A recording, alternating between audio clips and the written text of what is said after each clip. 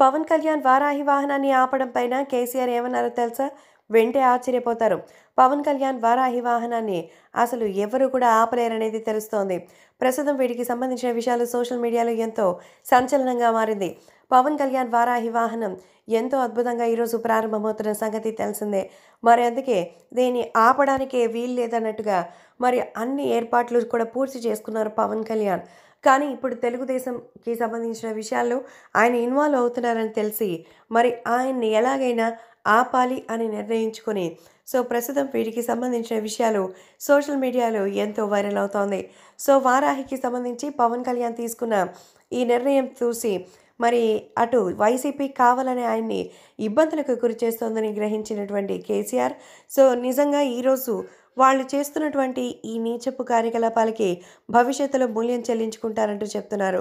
So మొత్తానికి కేసీఆర్ ఈ విధంగా పవన్ కళ్యాణ్కే సపోర్ట్ చేసినట్టుగా తెలుస్తోంది.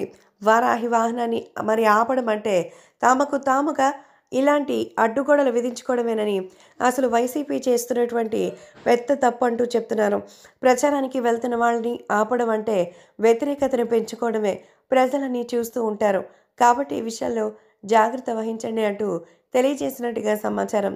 వీటికి సంబంధించిన ఈ విషయాలు సోషల్ మీడియాలో ఎంతో వైరల్ అవుతోంది.